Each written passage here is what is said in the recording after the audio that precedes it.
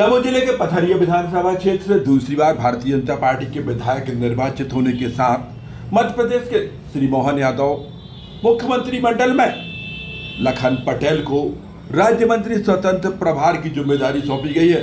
श्री पटेल के प्रथम आगमन के साथ जहाँ जगह जगह स्वागत, सम्मान, सत्कार का दौर जारी है, वहीं अटल न्यूज़ से चर्चा के दौरान उन्होंने अपनी प्राथमिकता गिनाते हुए कहा कि नर्मदा जल लाना जल संकट दूर कराना उनकी पहली प्राथमिकता है।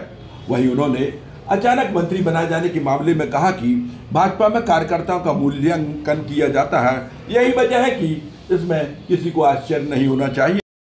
चुनाव के पहले भी बात की थी और उस समय उन्होंने जब जीत के दावे की बात हुई थी, कुछ अलग अंदाज में इस बात का जवाब दिया था। हम लखन भैया से जानना चाहेंगे कि जीत के बाद आपको कहाँ तक इस बात का विश्वास था कि आपको मध्य प्रदेश कैबिनेट में मंत्री पद दिया जाएगा? भारतीय जनता पार्टी की यही तो खूबसूरती है कि किसके साथ क्या कब कहाँ बिठा देगी। कार्यकर्ता का मूल्यांकन पार्टी करती है। और कार्यकर्ता का मूल्यांकन आपने जैसे उसका उदाहरण कई बार देखा होगा। चाहे महामहिम राष्ट्रपाल राष्ट्रपति का मामला हो, चाहे डॉक्टर मोहन यादव का मामला हो तो पार्टी मूल्यांकन करके उसको अपनी जगह बिठा देती ऐसे, ऐसा मुझे भी, मैंने किसी से न बात की। वो तो पार्टी को लगा कि हम मैं मैं काम कर सकता हूँ। तो पार्टी ने मुझे जिम्मेवारी दी है। पाँच साल पहले तक जब आप विधायक थे, तब आपने जो विकास कार्य शुरू किए थे, पिछले पाँच साल में आपके विधायक नहीं रहने पर उन पर काफ़ी क्या पाया। इनको लेकर आपने क्या कार्य योजना तैयार की? आपकी प्राथमिकता क्या रहेगी? बल, बिल्कुल बात सही है कि जो पिछले मेरे कार्यकाल के जो विकास और निर्माण के कार्य थे, खासतौर से सिंचाई की परियोजनाएँ वो अधूरी है और अभी तक किसानों के का पानी पहुँच जाना चाहिए, लेकिन पहुँचा नहीं वो पानी।